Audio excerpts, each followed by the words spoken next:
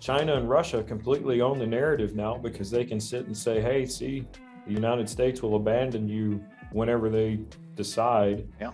And, um, and will leave you hanging. Uh, we won't do that. I know that that's not the case, and they would if that ever. In a heartbeat, yeah. but they have that narrative, so it's a hard one to dispute right now based on what we did. Welcome to Old Guy Talks to Me, a podcast dedicated to helping guys create kick ass lives for themselves and those that they love. Ladies, if you want to know what your guy is thinking, this podcast is for women too. Each week, a special guest helps you create that life you've imagined. We talk anti aging medicine, personal growth, relationships and hot sex. Yeah, you hear me, getting laid more frequently other guy vices, and topics that many don't want to talk about but need to. Just because you're getting older doesn't mean you have to be old. Don't want to miss anything? Be sure to subscribe, share, rate, and review this podcast. And be sure to go to www.thestandard.academy forward slash magazine and grab a free copy of our new digital magazine. The Standard Academy, where we talk about erogenous zones, growing hair back, and other things that will help you create that kick ass life. Now get ready to listen up and share with friends. This is the official old guy at oldguytalkstome.com, a podcast dedicated to helping older guys create kick ass lives for themselves and those they love and sometimes that has to do, well, with current events because we don't live in a bubble. We don't live in a vacuum.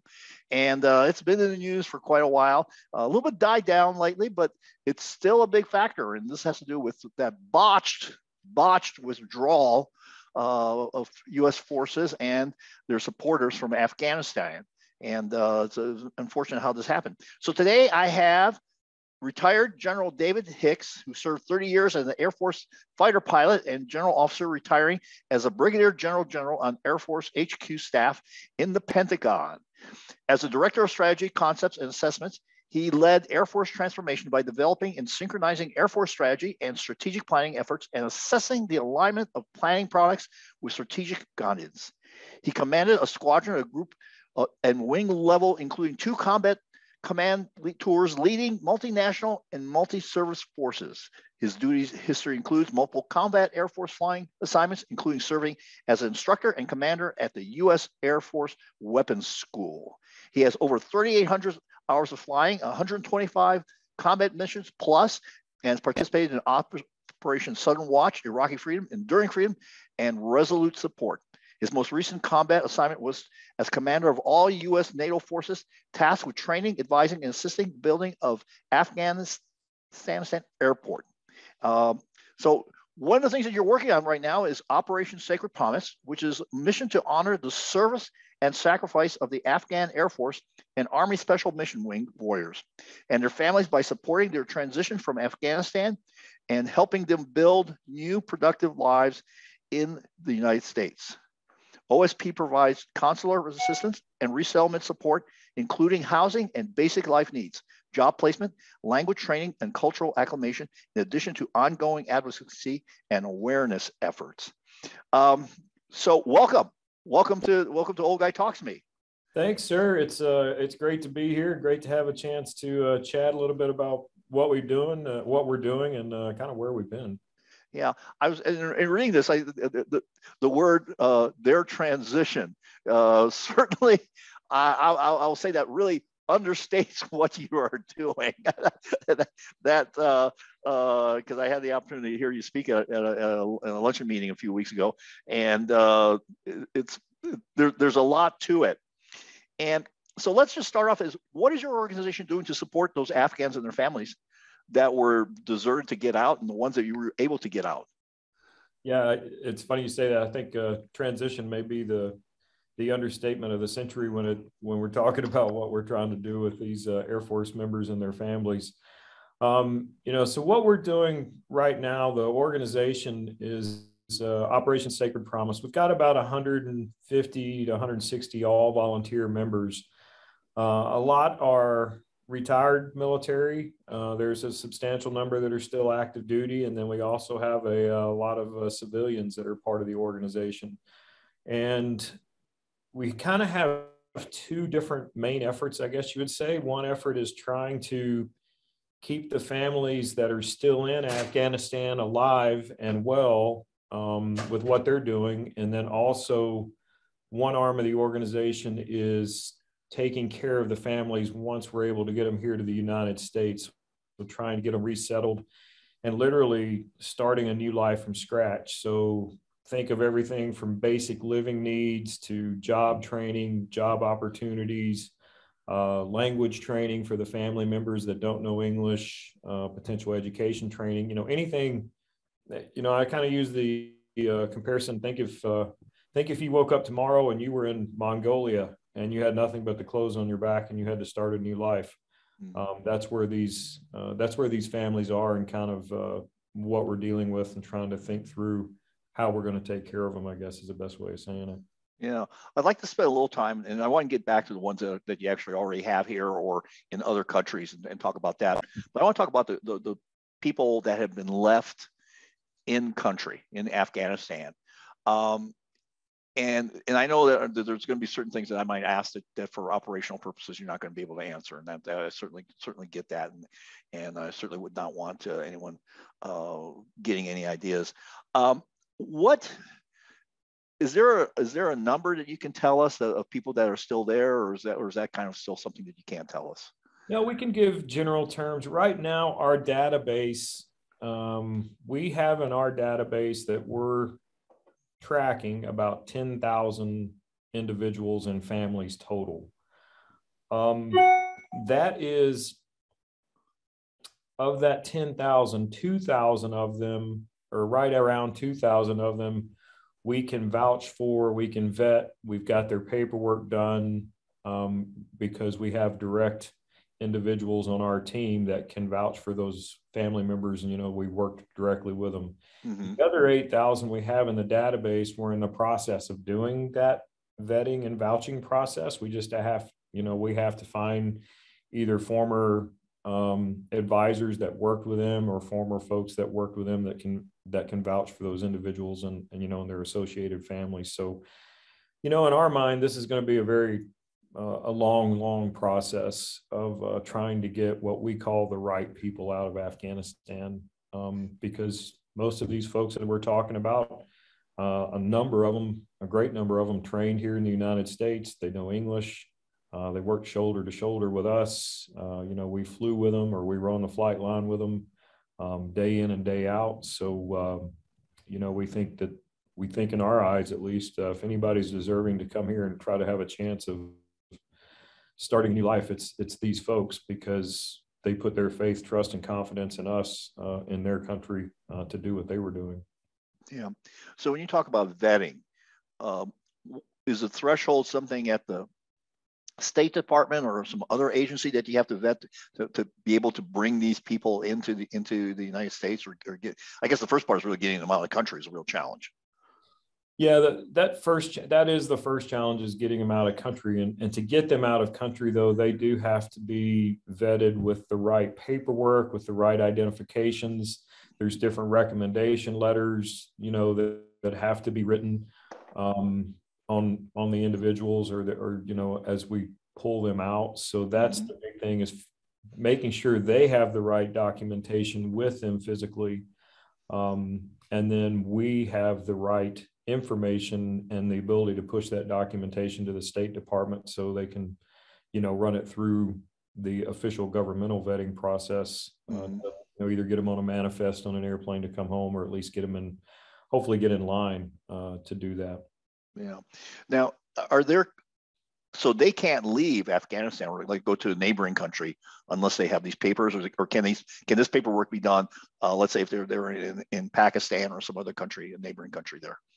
They could go to a third country. the The difficulty with that is is are they legally going to that third country or not? Mm-hmm. you know, does does the individual or their family have the proper visas or do they have the proper to say get into Uzbekistan or Tajikistan or or Pakistan because if they enter those countries illegally then they're at the whim of whatever the the government of that respective country wants to do with them. And um, so you know that's a that's a challenge because everything we're doing with the family members, we want to be legal and on the up and up uh, as far as what we're trying to do um, day in and day out. So that's, uh, you know, we we do not advise and recommend anything like that uh, for them, and we do not want to put them at, you know, what would be potentially Yeah. greater risk. Ultimately, it's their it's their decision. We can only advise as best we can if they think they have a different path or another path to uh, being less at risk. Um, you know, we don't control them. We can't say no. Sure. Well, I, I, I've heard recently there are some news reports that that uh, people not entering with uh, Pakistan with the appropriate paperwork were basically taken back to the border and turned over to the Taliban. That is, uh, Pakistan changed their rules. Believe it was effective November the fifth. If you were in Pakistan illegally, uh, you ran the risk of being deported back to whatever country you came from. Obviously, that was aimed at um, Afghanistan because so many people were flowing or trying to flow across the border uh, without the proper visa paperwork and everything for uh, for Pakistan. Um, we hear so many conflicting reports. Uh, is the U.S. government being helpful or not? Or they are they putting up roadblocks, or or, or is it depends on who you get? It, it's uh, you know, it's a real struggle to answer that question. I'll say that, you know, my my biggest disappointment with everything that that happened or how it played out going back to August when we when we as an organization spun up and started, you know, doing what we're doing was the obvious lack of a plan um, to evacuate anybody. Um, you know, that's when the the Afghan or Afghan counterparts in the Air Force and the Special Mission Wing started kind of reaching out desperately there in the middle of August to to the advisors that you know they'd kept in contact with over the years, saying, you know, what can you do to help us? And we started kind of asking around what is being done to help these folks, and there was nothing, and there was no plan to do anything to help them, and so we just kind of shook our heads, rolled our sleeves up, and started figuring it out, and you know, working with uh, different members of Congress and media, and and ultimately the Department of State and uh, and trying to get after uh, taking care of these folks as best we could, at least. Yeah. Um, you know, it, so it was frustrating that there was no plan. Then it's been very frustrating at times at how fast uh, they've been able to evolve or change the plan. Um, and uh, so that has been uh, a challenge, and again, primarily rests with the with the Department of State.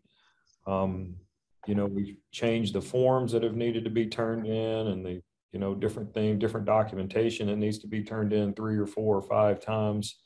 Um, I can't speak as to why, uh, you know, they've, they've had to change it that much other than it's a real pain in the butt when you've got as many as, as we have and some of the other NGOs have that are trying to get out. Just one small change in documentation requirement um, puts a great amount of work on, on the team Sure. Oh yeah. done in a timely fashion. So, yeah, it's it's been uh, it's been a disappointment. Uh, I I would say is probably the biggest thing. I know they were thrown a massive task, and they've been thrown a massive task to try to solve or or get after uh, this problem. But you would think that we would be able to pivot better than we have, um, and that's you know I kind of say that that's one of the one of the real weaknesses of a bureaucracy. They're so big and big and bulky that uh, making quick changes and quick pivots in, in decision making or policy uh, is almost impossible. Yeah. So apparent uh, the uh, cooperation between the Afghan Air, Air Corps uh, to support the government of Afghanistan began in 2005. Tell us a little bit about who these people are that that you that, and and you know what they've done that makes you want to go to such extreme efforts to basically bring bring them to safety. You know, the, the Afghan Air Force and the Afghan Special Mission Wing, uh, obviously they, we stood up or we started back uh, trying to build an Afghan Air Force there in the, in the mid 2000s. Uh, when I was in Kandahar in 2010 uh, as a commander of U.S. forces there, um, I had a chance to go over and meet, you know, my Afghan counterparts, and we were just getting started. Or they were just getting started with you know, building the Afghan Air Force. So it's flying Mi-17s and some uh, small little Cessna C-208s and, and, a few other aircraft. Um, and then during the last 10 years, it really started to, to blossom and, and take off as far as um, getting the right individuals trained and then getting them with the right mentality and the right culture to to to fight. Uh, I guess you'd say is the best way of putting it. So the Special Mission Wing is kind of like the Afghan Special Air Force. So our terms in the Air Force, we call you know we call it in the U.S. AFSOC, um, which is you know Air Force Special Ops Command. That's what the Special Mission Wing was in Afghanistan, or a, a, a counterpart to it. So these folks that we got, you know, they're obviously, I'll say, more technical, more educated in nature because, you know, they're flying the aircraft or they're maintaining the aircraft. So we kind of built a culture with them where we were very close uh, in the training. And we did something that uh, most of the other services didn't do training wise is we stood up some some squadrons that uh, and one squadron in particular that would be responsible for training the Afghans here in the uh, United States, and this is for the A-29, which is what a, a primary airplane I was an instructor in uh, over there in 2016. But the same instructors that trained him, them here in the U.S. When the Afghans went back over to Afghanistan, those same instructors would be doing three-month rotations in Afghanistan while they were while the Afghans were flying combat. So they already knew us. They already had a relationship with us we had a relationship with them. So there was a, a lot of trust that was already built into the, the culture that we were building and doing with the uh, Afghan Air Force.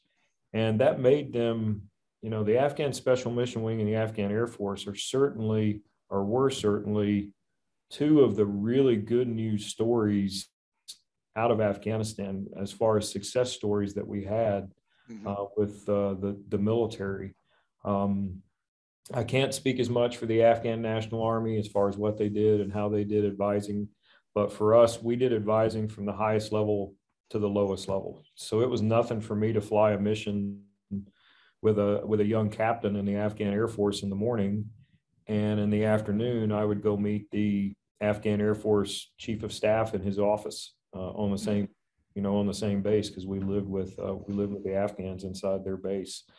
So we did it from the highest level to the lowest level with all of our with all of our members and it proved to be an effective formula. And i know for the special mission wing it was the same way which they were right across the ramp uh, from us. So we worked together a lot but know a pretty talented group of individuals and a pretty motivated group of individuals which is why we are pretty pretty adamant or pretty passionate about trying to get them out and, and take care of them yeah. You you mentioned a word that you the, you and they developed a level of trust between each other. Um, when things start to unravel, and then they start to unravel very quickly, what ha- what would you say happened to that trust? And I'm not talking about the trust that you had with them, but they put a certain amount of trust in the government of the United States. Uh, and and I, you know, given your, your efforts and all you're trying to do, uh, you have not violated that trust. But personally, I feel I feel the government, U.S. government, violated that trust. I, I it, it, it actually, it it really pisses me off. I mean, it it, it just, uh, I just can't imagine uh, someone who has said, okay, I'm going to be a supporter, I'm going to help you, I'm going to help you fight the enemy, all of that, and then to be just like let go. And for me, I said I think that this portends very poorly for not just this, but if we ever have to go into other situations, why would anyone ever cooperate with the United States government? Yeah, and that's uh, you know that's the I'll say that's the thing we had the most difficulty with as far as the most of the folks that are in the organization were like, how can this how can this be happening? You know, with no plan to to take care of these folks because they did trust us and they trust us now that we're you know doing everything we can to try to mm-hmm. try to get as many out as possible so they i'll say they trust us but the trust in the us government is um is certainly not what it what it was or what it used to be and the thing that you're right on a on a bigger picture level, the thing that bothers me or concerns me the most is we have a lot of countries all around the world that are sitting on the fence right now as to whether they want to be allied or friendly to us or allied or friendly to say a China or a Russia or somebody that we would consider a you know a mm-hmm. possible adversary or somebody sure. that at least thinks different than us. And so China and Russia completely own the narrative now because they can sit and say, hey, see, the United States will abandon you whenever they decide. Yeah. And um and will leave you hanging. Uh, we won't do that. Yeah. Um, I, you know, I know that that's not the case, and they would if that ever in a heartbeat. Yeah, but, but, they have that narrative, so it's yeah. a hard one to dispute right now based on what we did. Right, they, they still haven't done it, but we did. Yeah, exactly, exactly right. Yeah, yeah. The, the the the evidence is we know for sure, at least uh, at this point, that that's what's happening. Do you need accountability? Are you looking to change the course of your life but have failed to keep on track? Too often we take in information and fail to act. Do you need an accountability program to stay the course? Then go to www.thestandard.academy and find out about my accountability program that goes with my course that helps you find out what you want, why you want it, and how to get it. The accountability program keeps you on track to get results. You get you're getting these people out and slowly and I was, I was surprised by the number when you said like you know 2000 vetted and, and another 8000 i was i was i was and, and that and that's just from your particular right. uh, uh, area that's not talking about across other branches of, of, of service that have you know have also had people that assisted them on the ground whatever so so yes. that number is huge which leads me to the, the question of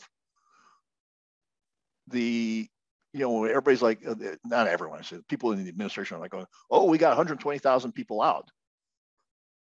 Who are these people that they got out? Uh, that's kind of the uh, that's kind of the great unknown uh, to some extent because um, we saw folks that were getting out or getting in to HKIA, the, the Kabul International Airport, um, and they had no affiliation with the government. They had no affiliation with the U.S. government or the U.S. military or you know any of the coalition partners or anything, and they were you know getting on planes and getting out. I don't know what or how they are being treated. I don't know how they're being vetted um, here in the U.S. because um, I'm assuming a substantial portion of them made it here to the United States. Mm-hmm. So I have no clue um, really where or how or what they're doing to say those individuals and families are, you know, belong in the U.S. or they are you know deserve to be in the U.S. Certainly, when you compare it to the ones that you know we're trying to work with and we're trying to get out, so it really, uh, it really pisses us off. I guess is the best way of saying it. Sure. You know that we weren't able to get more out in that initial phase. We we got a lot, but we weren't able to get more because we had the folks at the gate and they could get in, but or you know they couldn't get in um, because and, of the other folks. Yeah. So now, who controlled the gates, and and why were some people able to get it that had no business being on these planes, were able to get past the gates, and other people that had papers were not able to get past past the the, the guards at the gate. What what was that all about? Yeah, so it was a you know a lot of it early on. The the U.S. controlled a lot of the a lot of the main gates, but if you if you look at uh, Hamid Karzai International Airport, HKIA, there's a number of gates that were available um, to be opened or you know be manned, and the U.S. just didn't have the enough forces there to man them all 24/7, given the chaos that was going on. So they allowed the uh, Afghan um, National Directorate of Security (NDS). So think of them as kind of a combination of FBI and CIA. Uh, they allowed them to man uh, a number of the gates. And so what happened was uh, it became essentially a little bit of a pay for play uh, mm-hmm. to get into some of these gates. You know, if you had enough money or you knew the right or you knew the right people, um, which is maybe knew the right folks in these uh, for these NDS organizations, um, you could get your family in no problem.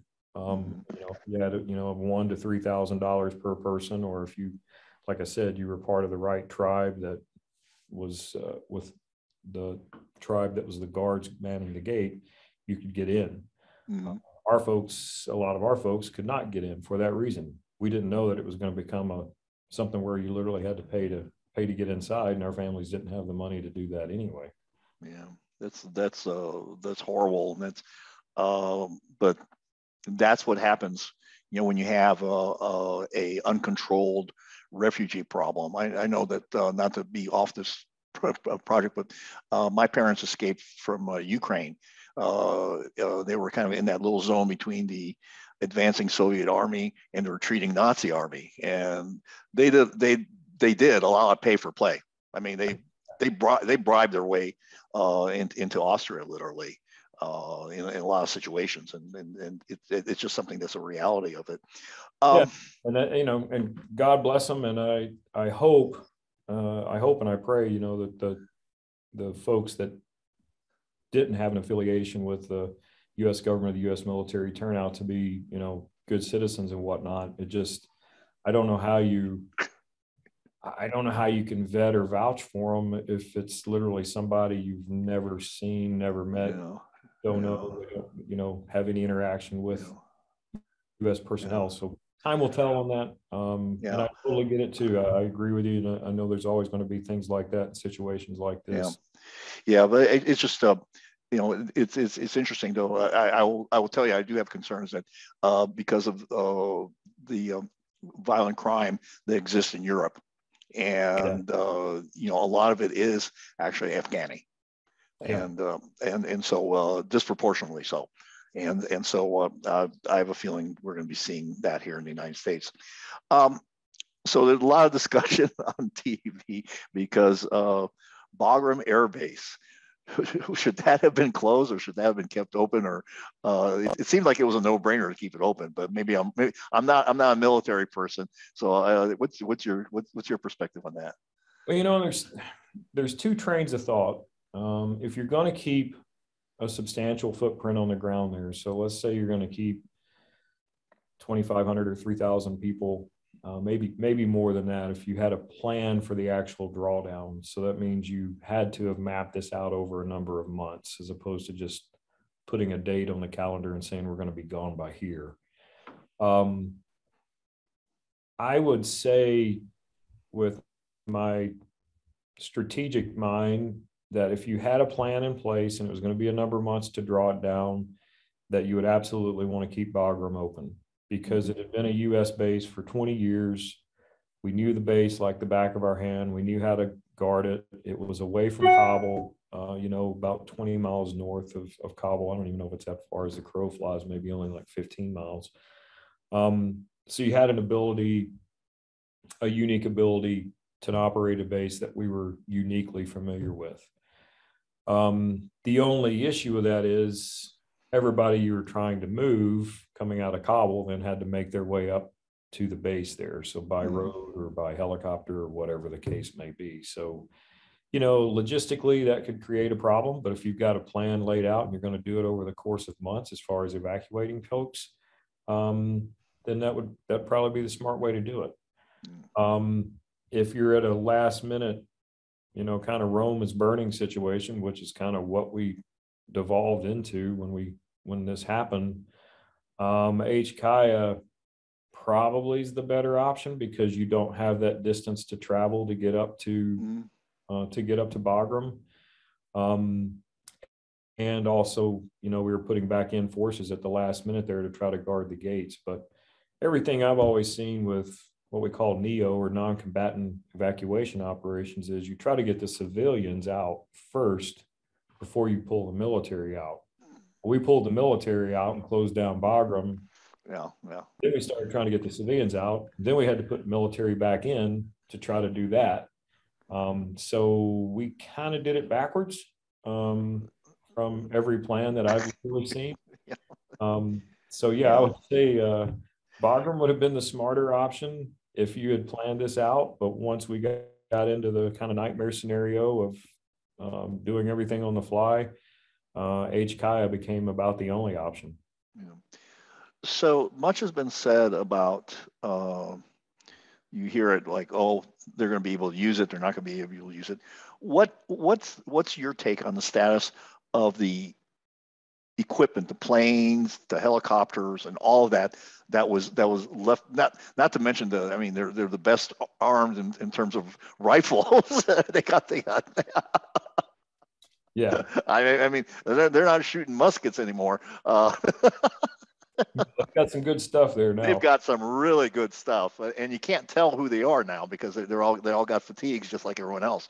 Yep. Uh, so, what's the status of of the, the uh, air equipment that, that was left back there? Is, is, is that is it just so hard to maintain that it's non-usable, or some of it usable, or, or what's the status of that? So, uh, some of it, you know, the the Afghan Air Force, as as Kandahar got overrun in the week leading up to Kabul being overrun ultimately. They flew, uh, the Air Force guys flew as much as they could get out of Kandahar up to Kabul, mm-hmm. uh, but that wasn't everything. So we know there was some operational, uh, probably C 208 aircraft and some operational helicopters that were left down there that weren't um, disabled. There were some down there that were were also disabled, so you know they probably won't fly again. In Kabul, the aircraft and helicopters that were left there were almost all disabled by certain means to to keep the Afghans from or uh, to keep the Taliban from being able to fly. Okay. And then we got, um, you know, as we were talking to the to the leadership, uh, the Afghan Air Force leadership, they were able to get about 60 to 65 aircraft and helicopters out of country to Uzbekistan and Tajikistan um, in the last couple of days as the as Mazar Sharif base was falling in the north part of the country and as Kabul was falling. So, you know, they flew and they fought until they ran out of runways to land on, and that's not an exaggeration. You know, one of the so you said about about sixty. That's about how, out of how many is that roughly? Uh, I think if we include, I think they had all of the UH-60s. I I can't quote a specific number because they had more aircraft and equipment flow in since I was there as a commander. Mm-hmm. I would say it was probably out of roughly 200, maybe 250. Okay. So it was a substantial amount that, you know, we're able to, to get evacuated out or, or pulled out of there. Okay. Um, want to switch gears here to talk about what you're doing with the people that are, have gotten out of country and you are working to resettle them here in the United States. So when you when somebody like uh, I want to hear about what you guys are doing, but tell me about what are the aspirations of the people that are that that are recently arrived here in the United States.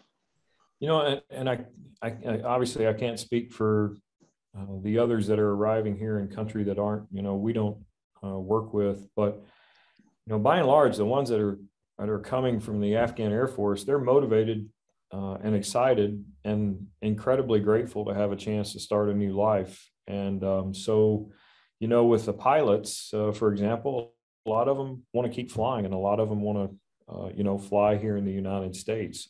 There's a number of them that are interested in joining the Air Force here. Um, so, you know, we'll, we'll see how things, see how we're able to work things out. Um, I was just on the phone with, uh, with uh, one of the senior pilots for one of the airlines right before we start started this podcast uh, talking about training opportunities and how we can get some of these guys into the pipeline to to have a chance to fly commercially here in the U.S. Mm-hmm.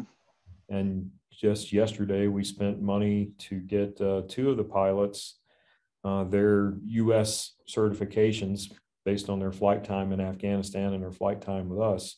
Uh, to get their U.S. certifications to get them uh, into the opportunities to to fly here in the United States commercially. So everything from that to you know if they weren't if for the non-pilots uh, folks that are here anything they're interested in doing is is on the table there's it's surprisingly a number of them want to go and uh, learn how to be a truck driver which we've got a massive shortage of yes you know and it's interesting one of the pilots that uh, that got off the plane uh, a few weeks ago at Holloman Air Force Base to go in the camp there. One of our guys um, that's part of the group met him, you know, was also his advisor, so knew him personally, obviously from Afghanistan.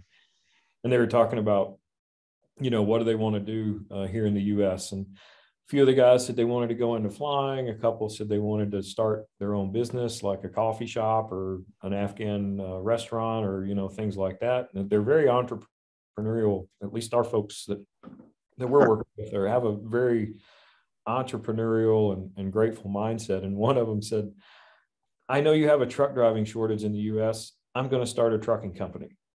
And I thought it was, I just, I couldn't help but laugh because I thought it was so cool. Here these guys are, they've just been through hell and back trying to get out of Afghanistan and then going through and, you know, getting over to the United States. And they're already talking about a, a business that they want to start based off of a need here in the US and then two of the other guys immediately said, and I want to go live in Tennessee because it has one of the best tax locations in the US. and uh, I'm like, holy cow, I can't, I mean, it just, for me, it was, it was refreshing to see them actually thinking, talking, and obviously had been discussing it with each other of what they wanted to do, where they wanted to go, and how they literally wanted to start a new life from scratch. So, you know, for us as an organization, that's pretty, pretty motivational for us to keep at it and, and keep working for them to to give them the opportunities here in the U.S. So, you know, the the foundation, that's what we're doing. We're trying to help them find job opportunities.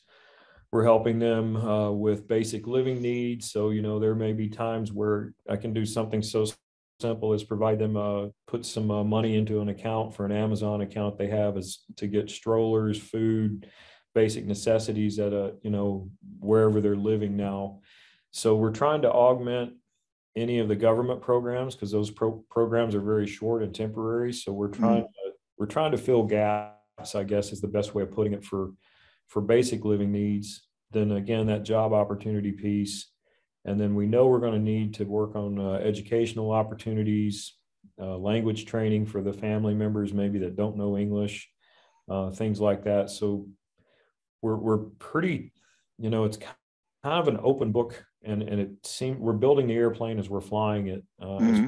sure. What we need to do and and how we need to help them. And every day there's a different challenge. Today we got some great news because the organization today was uh, confirmed as a uh, a nonprofit public charity by the IRS. So we're officially a what's called a five. 501c3 organization now for uh, for donations which again that's that's and, really news for us. Yeah, and, and what's the website somebody wants to donate? It is uh, op op sacred promise. So all one word opsacredpromise.org. Okay.